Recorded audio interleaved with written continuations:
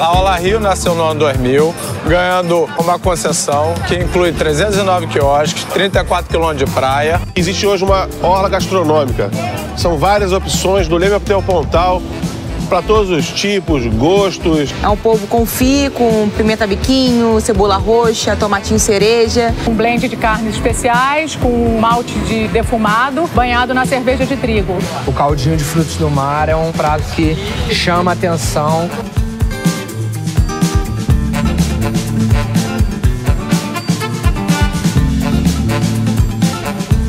Foi excelente pra gente, porque tá trazendo muita gente que tá conhecendo o quiosque para fazer as avaliações do, do, prato, né? O pessoal entrou nessa brincadeira de virar avaliador, né, da, do reality na praia e tá trazendo um feedback bem positivo. É uma oportunidade da gente mostrar para os cariocas e para os turistas que aqui tem comida boa, aqui tem higiene, aqui tem bom atendimento.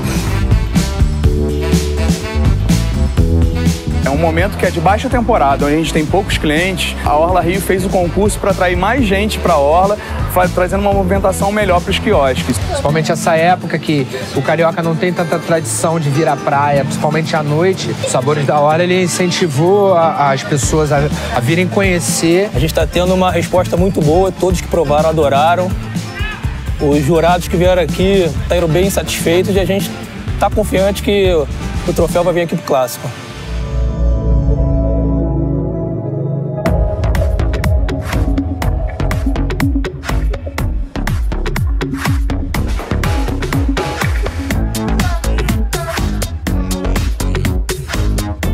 São os campeões. A gente tem o melhor prato da Orla em 2017.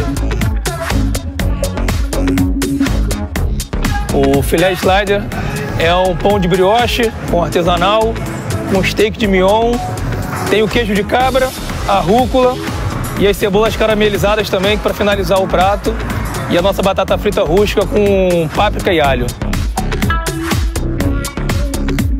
Estamos indo para o Rio Gastronomia a gente só tem a agradecer a todo mundo. Em 2018 a gente está de novo aí nas cabeças, se Deus quiser.